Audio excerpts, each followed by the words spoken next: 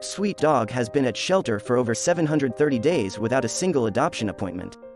But before we start, please take a moment to give this video a like, subscribe, and hit the bell so you'll never miss these great stories. Coco was surrendered to Main Line Animal Rescue, MLAR, in 2019 after his family moved from Connecticut to Pennsylvania and no longer had any time for him. The shelter hoped they could find a new family sooner rather than later, as they hoped for with all of their animals, but unfortunately that didn't happen for Coco.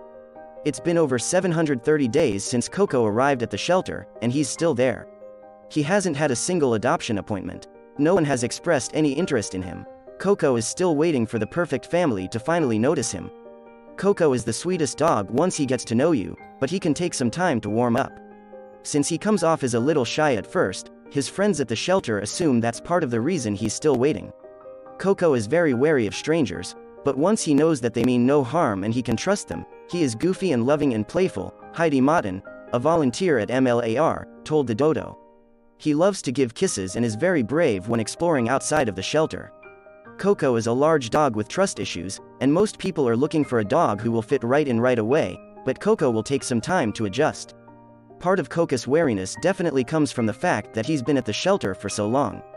It's hard to relax in a high-stress environment with so many other dogs around, but once he's in his forever home, his shelter friends are confident that he'll be able to relax more and settle in comfortably. Coco is used to the routine of shelter life, Madden said. He seems to be resigned to it and almost like he's given up on wishing there was more to life. While Coco does get along with other calm, low-key dogs, after living in a shelter for so long, he would probably do best being the only pet in his new home, at least at first. He's looking for a calm home without too much commotion. He'd love to be able to bond with his new family in peace without having to deal with too many new people constantly coming and going. Over the years, Coco has made some best friends at the shelter. They love him more than anything, and while they'll be sad to see him go, all they want is for him to find a wonderful home with a family who will love him just as much as they do. Once you have gained Coco's trust, which doesn't take long, he is a happy-go-lucky guy, April Maddle, a volunteer at MLAR, told the dodo. Coco has been waiting a long, long time for a home, and hopefully he won't have to wait much longer.